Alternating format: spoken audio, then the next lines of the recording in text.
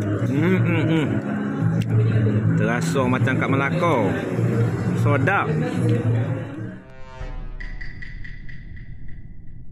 Hari ni POV terjah Port Desen. Haha. And then ni tak berapa roti.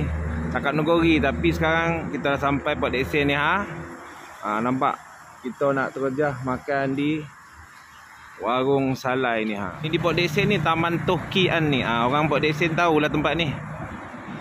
Warung Salai ni nampak. Ha, dia ada branch dia dekat Seremban ada. Satu lagi ada yang tak tahu mana.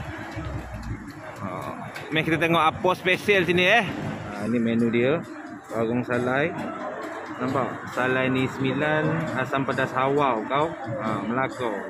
Ha, cara dia Oh cara dia pula Tak apa. Bunyi nogori dekat Kelantan serupa. Kawan tak boleh Tak apa tak apa. Apa kita tengok? Oh cakap biasa sudah lah.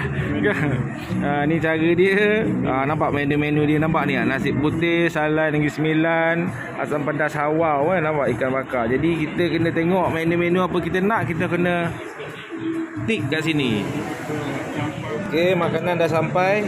Letih dah cakap nogori kan bunyi Kelantan pula. Jadi inilah menu dia. Nampak ni. Ni itik, itik salai, koli salai, daging salai dengan perut. Ha. Itu asam pedas. Ha, dia set dia sekali dengan nasi. Kita try. Oh, lagu orang kahwin ya. Ni itik ah itik. Ah, ha, Tora itik. Kuah dia. Ha, nampak itik sayur dia. Oh, nampak idrik dia. Hmm, hmm, hmm. Okey. Sedapnya, sedap.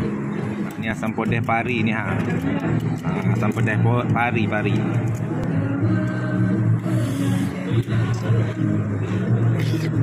Hmm, hmm, hmm.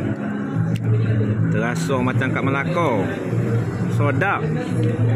Dan koli dia orang punya uh, masak lomak dia sama sama. Jadi rasa dia terbaik.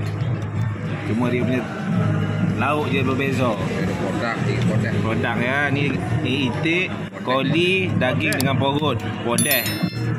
Uh, daging salai. Terasa, terasa. Eden satu je ha. Datang sini dia pasang lagu kahwin kan. Terasa Eden nak kahwin. Itu bahaya. Kan marilah kita makan. Hai bahaya lagu bahaya. Ha, Ni toke dia Toke nampak? Ha. Toke toke Toke kan? Terbaik bos Terbaik. Kan? Memang terbaik. Alhamdulillah. Itu dia. Ha Licin bawah Sedap sedap. Terbaik terbaik. Recommended Kena datang. Okay Siapa-siapa yang datang ke Port Dickson Jangan lupa datang di Warung Salai.